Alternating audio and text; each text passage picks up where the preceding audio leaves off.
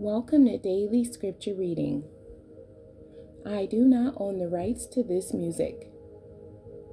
These are scriptures on being consistent. Consistent, acting or done in the same way over time, especially so as to be fair or accurate, unchanging in nature, standard, steady, stable, constant, uniform, orderly can also mean compatible or in agreement with something. I will read the amplified version of 1 Corinthians chapter 15.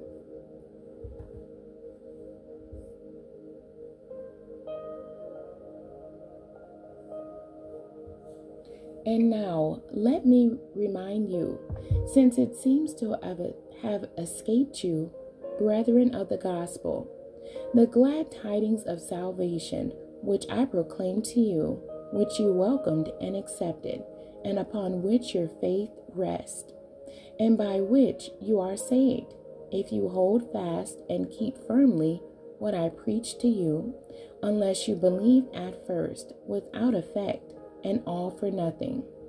For I passed on to you, first of all, what I also had received that Christ, the Messiah, the Anointed One, died for our sins, in accordance with what the Scriptures foretold, that he was buried, that he rose on the third day, as the Scriptures foretold, and also that he appeared to Cephas, Peter, then to the twelve. Then later, he showed himself to more than 500 brethren at one time, the majority of whom are still alive but some have fallen asleep in death. Afterward, he was seen by James, then by all the apostles, the special messengers, and last of all, he appeared to me also, as to one prematurely and born dead, no better than an unperfected fetus among living men.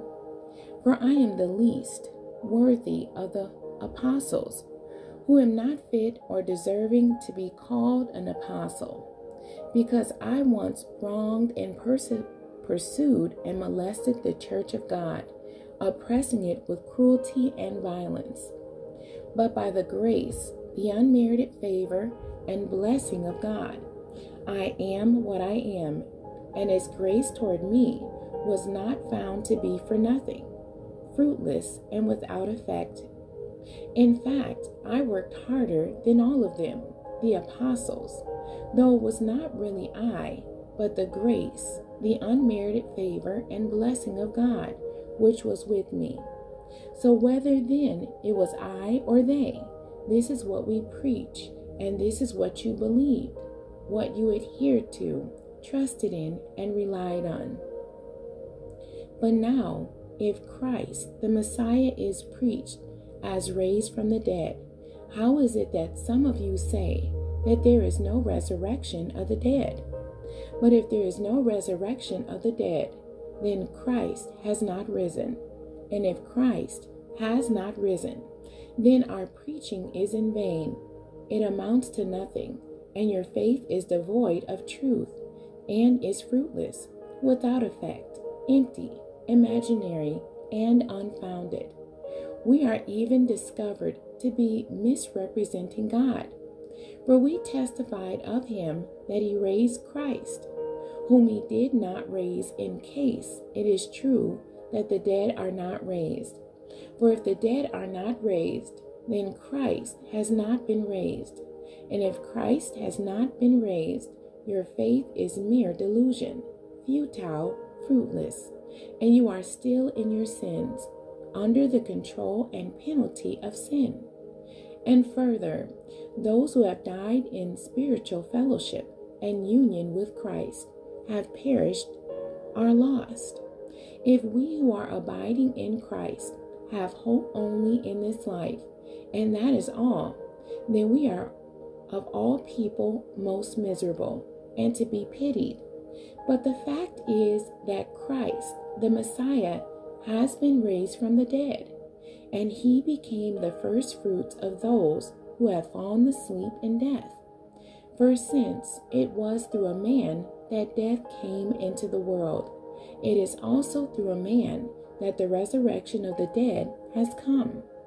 For just as because of their union of nature, in Adam all people die, so also by virtue of their union of nature shall all in Christ be made alive, but each in his own rank and turn. Christ, the Messiah, is the firstfruits, then those who are Christ's own will be resurrected at his coming. After that comes the end, the completion, when he delivers over the kingdom to God, the Father, after rendering inoperative and abolishing every other rule and every authority and power. For Christ must be king and reign until he has put all his enemies under his feet. The last enemy to be subdued and abolished is death. For he, the Father, has put all things in subjection under his, Christ's feet. But when it says all things are put in subjection under him, it is evident that he himself is accepted, who does the subjecting of all things to him.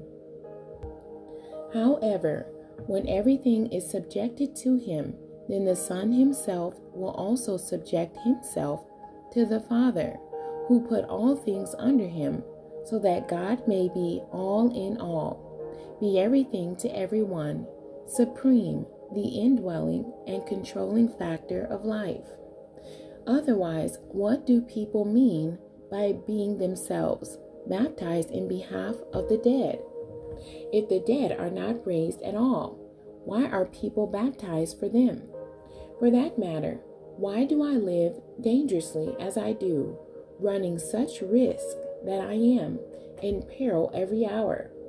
I assure you, by the pride which I have in you, in your fellowship and union with Christ Jesus our Lord, that I die daily. I face death every day and die to self. What do I gain if merely from the human point of view I fought with wild beasts at Ephesus? If the dead are not raised at all, let us eat and drink, for tomorrow we will be dead. Do not be so deceived and misled. Evil companionships, communion, associations, corrupt and depraved good manners, and morals and character. Awake from your drunken stupor, and return to sober sense and your right minds, and sin no more. For some of you have not the knowledge of God. You are utterly and willfully and disgracefully ignorant, and continue to be so, lacking the sense of God's presence and all true knowledge of Him. I say this to your shame. But someone will say, How can the dead be raised? With what kind of body will they come forth? You foolish men, every time you plant seed, you sow something that does not come to life germinating, springing up, and growing, unless it dies first. Nor is the seed you sow in the body which it is going to have later, but it is a naked kernel, perhaps of wheat or some of the rest of the grains. But God gives it but God gives to it the body that he plans and sees fit, and to each kind of seed a body of its own. For all flesh is not the same, but there is one kind for humans, and another for beasts, another for birds, and another for fish. There are heavenly bodies, sun, moon, and stars, and there are earthly bodies, men, animals, and plants. But the beauty and glory of the heavenly bodies is of one kind, while the beauty and glory of earthly bodies is a different kind. The sun is glorious in one way, the moon is glorious in another way and the stars are glorious in their own distinctive way. For one star differs from and surpasses another in its beauty and brilliance. So it is with the resurrection of the dead. The body that is sown is perishable and decays, but the body that is resurrected is imperishable, immune to decay, immortal. It is sown in dishonor and humiliation It is raised in honor and glory. It is sown in infirmity and weakness. It is resurrected in strength and endued with power. It is sown a natural, physical body. It is raised a supernatural, a spiritual body. As surely as there is a physical body, there is also a spiritual body. Thus it is written the first man, Adam, became a living being, an individual personality. The last Adam, Christ, became a life giving spirit, restoring the dead to life. But it is not the spiritual life which came first, but the physical and then the spiritual. The first man was from out of earth, made of dust, earthly minded. The second man is the Lord from out of heaven. Now those who are made of the dust are like him who was first made of the dust, earthly minded, and as is the man from heaven, so also are those who are of heaven, heavenly minded. And just as we have borne the image of the man of dust, so shall we, and so let us also bear the image of the man of heaven. But I tell you this, brethren flesh and blood cannot become partakers of eternal salvation and inherit or share in the kingdom of God, nor does the perishable, that which is decaying, inherit or share in the imperishable, the immortal. Take notice, I tell you a mystery, a secret truth, an event decreed by the hidden purpose or counsel of God. We shall not all fall asleep in death, but we shall all be changed, transformed, in a moment in the twinkling of an eye, at the sound of the last trumpet call. For a trumpet will sound, and the dead in Christ will be raised, imperishable, free and immune from decay, and we shall be changed, transformed.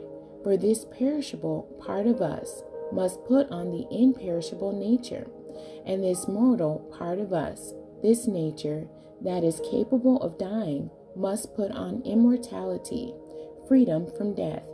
And when this perishable puts on the imperishable, and this that was capable of dying puts on freedom from death, then shall be fulfilled the scripture that says, Death is swallowed up, utterly vanquished forever, in and unto victory.